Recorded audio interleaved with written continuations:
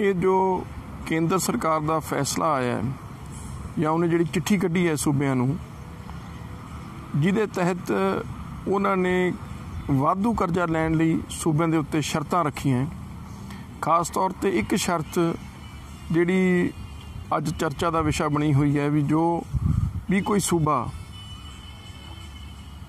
0.5% extra ਕਰਜ਼ਾ GDP ਦਾ avail ਕਰਨਾ ਚਾਹੁੰਦਾ ਹੈ ਉਹਨਾਂ ਨੂੰ ਆਪਦੀ ਜਿਹੜੀ ਬਿਜਲੀ ਦੀਆਂ ਸਬਸਿਡੀਆਂ ਨੇ, ਉਹਨਾਂ ਨੂੰ ਕਰਟੇਲ ਕਰਨਾ ਪਏਗਾ, ਉਹਨੂੰ ਘਟਾਉਣਾ ਪਏਗਾ। ਮੈਂ ਸਮਝਦਾ ਇਹ ਲੋਕਤੰਤਰ ਦੇ ਜੋ ਢਾਂਚਾ ਹੈ, ਉਹਦੇ ਉੱਤੇ ਸਿੱਧਾ ਹਮਲਾ ਹੈ। ਵੈਸੇ ਤਾਂ ਜੋ ਕੇਂਦਰ ਸਰਕਾਰ ਹੈ, ਉਹਨਾਂ ਤੋਂ ਕੋਈ ਲੋਕਤੰਤਰ ਦੀਆਂ ਜੋ ਕਦਰ ਕੀਮਤਾਂ ਨੇ, ਕਦਰਾਂ ਕੀਮਤਾਂ, ਉਹਨਾਂ ਤੇ ਪਹਿਰਾ ਦੇਣ ਦੀ ਕੋਈ ਆਸ ਨਹੀਂ ਰੱਖੀ ਜਾ ਸਕਦੀ। ਪਰ ਇਹ ਇੱਕ ਡਾਇਰੈਕਟ ਹਮਲਾ ਕਿਉਂਕਿ ਜੋ ਵੀ ਸੂਬਿਆਂ ਨੇ ਕਰਜ਼ਾ ਲੈਣਾ ਹੈ ਉਹ ਸੂਬਿਆਂ ਦੇ ਅਧਿਕਾਰ ਹੈ ਅਤੇ ਉਹਨੂੰ ਕਿਸ ਤਰ੍ਹਾਂ ਉਹ ਖਰਚਣ, ਇਹ ਵੀ ਸੂਬਿਆਂ ਦੇ ਅਧਿਕਾਰ ਹੈ।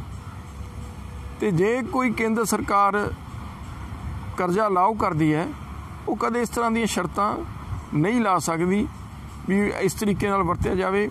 ਤੇ ਨਾਲੇ ਇੱਕ ਸਵਾਲ ਜਿਹੜਾ ਬਹੁਤ ਵੱਡਾ ਹੋਰ ਬਣਦਾ ਵੀ ਸਿਰਫ ਖੇਤੀਬਾੜੀ ਸੰਬੰਧੀ ਜੋ ਸਬਸਿਡੀ ਹੈ ਜਾਂ ਬਿਜਲੀ ਸਬਸਿਡੀ ਹੈ, ਸਿਰਫ ਉਹਦੇ ਤੇ ਕਿਉਂ ਕਿੰਤੂ ਪਰੰਤੂ ਕੀਤਾ ਜਾ ਰਿਹਾ?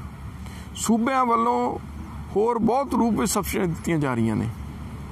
ਕਿਤੇ ਇੰਡਸਟਰੀ ਨੂੰ ਸਬਸਿਡਾਈਜ਼ ਕੀਤਾ ਜਾ ਰਿਹਾ ਹੈ, ਕਿਤੇ ਇਨਫਰਾਸਟ੍ਰਕਚਰ ਨੂੰ ਸਬਸਿਡਾਈਜ਼ ਕੀਤਾ ਜਾ ਰਿਹਾ ਹੈ, ਹੈਲਥ ਐਜੂਕੇਸ਼ਨ ਨੂੰ ਸਬਸਿਡਾਈਜ਼ ਕੀਤਾ ਜਾ ਰਿਹਾ ਹੈ।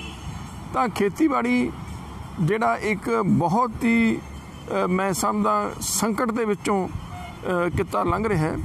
ਉਹਨੂੰ ਜੇ ਸਬਸਿਡਾਈਜ਼ ਕੀਤਾ ਜਾਂਦਾ ਹੈ, ਤੇ ਉਹਦੇ ਤੇ ਕੇਂਦਰ ਸਰਕਾਰ ਨੂੰ ਕਿਉਂ ਜਿਹੜਾ ਉਹਨਾਂ ਦਾ ਢਿੱਡ ਪੀੜ ਕਰਦਾ ਸੋ ਇਹ ਇੱਕ ਕਿਸੇ ਵੀ ਸੂਬੇ ਨੂੰ ਮੈਂ ਸਮਝਦਾ ਪਹਿਲੀ ਗੱਲ ਤਾਂ ਇਹਨਾਂ ਦੀ ਸ਼ਰਤ ਮੰਨਣੀ ਨਹੀਂ ਚਾਹੀਦੀ ਅਤੇ ਸਾਫ਼ ਸ਼ਬਦਾਂ ਦੇ ਵਿੱਚ ਇਹ ਜਿਹੜਾ ਸੂਬਿਆਂ ਦਾ ਅਧਿਕਾਰ ਬਣਦਾ ਹੈ, ਸੂਬਿਆਂ ਦਾ ਹੱਕ ਹੈ ਵੀ ਜੋ ਵੀ ਉਹ ਪੈਸਾ ਹੈ, ਕਿਉਂਕਿ ਇਹ ਕਰਜ਼ਾ ਕੇਂਦਰ ਸਰਕਾਰ ਦਾ ਨਹੀਂ ਹੈ। ਆਖਰ ਸੂਬੇ ਦੀ ਸਰਕਾਰਾਂ ਨੇ ਪੈਸਾ ਭਰਨਾ ਹੈ।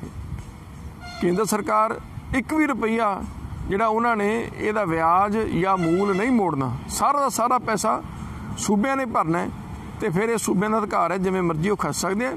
ਸੋ ਇਹ ਜੋ ਉਹਨਾਂ ਦੀ ਚਿੱਠੀ ਹੈ, ਇਹ ਨਿੰਦਣਯੋਗ ਹੈ ਅਤੇ ਲੋਕਤੰਤਰ ਦੇ ਬਿਲਕੁਲ ਉਲਟ ਹੈ, ਫੈਡਰਲ ਢਾਂਚੇ ਦੇ ਬਿਲਕੁਲ ਉਲਟ ਹੈ। ਅਸੀਂ ਇਹਦੀ ਕੋਰ ਸ਼ਬਦਾਂ ਵਿੱਚ ਨਿੰਦਾ ਕਰਦੇ ਹਾਂ।